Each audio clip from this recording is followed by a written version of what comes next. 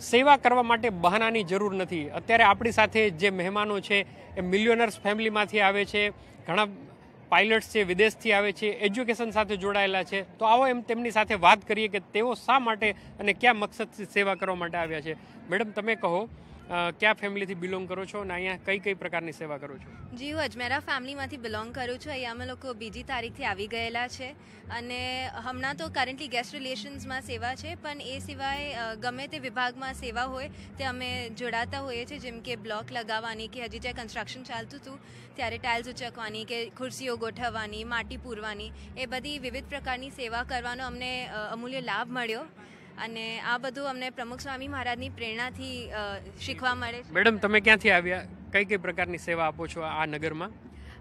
હું લંડનથી આવી છું અને અમારી સેવા તો એઝ આજ્ઞાબેન સેટ કે અમે ઘણી બધી સેવાઓ અહીંયા મળે છે પણ અત્યારે અમે લોકો ગેસ્ટ રિલેશનમાં છીએ એન્ડ અમે બધાનું અકોમોડેશન્સ અને પેન્ટ્રીનું એ બધું ડિપાર્ટમેન્ટ સંભાળીએ છીએ.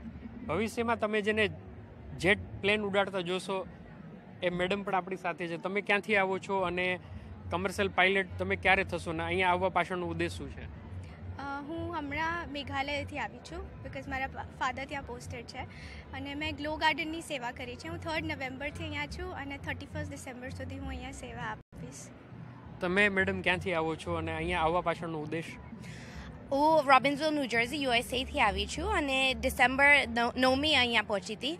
ખાસ ત્યાં ફૂલ ટાઈમ સેવા કરું છું અને અહીંયા પણ સેવા માટે આવી છું. જ્યાં સેવાની જરૂર છે પણ સ્વામીની પ્રેરણાથી અત્યારે આપણે બાલિકા કિશોરી યુવતીઓને જે આપણા મહિલા પ્રોગ્રામ્સમાં એન્ગેજ કરવાના છે ને એમાં જે પાર્ટિસિપેટ થાય છે એ વોલન્ટિયર કોર્ડિનેશન અથવા ઇન્ટરનેશનલ રિસેપ્શન સેન્ટર બધે સેવા કરીએ છીએ.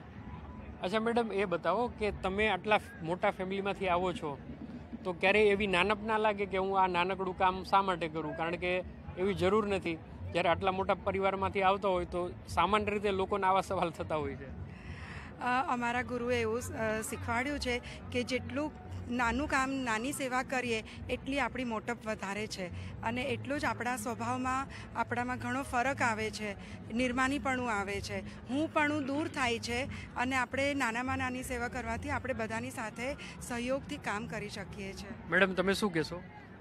મારું એવું કહેવું એવું છે કે બાપાએ હંમેશા એમનું જે વર્તન હતું એ જોઈને જ બધા હરિભક્તો એમાં જોડાયેલા છે. બાપાએ પૂરા વિશ્વ માટે ખૂબ કર્યું છે.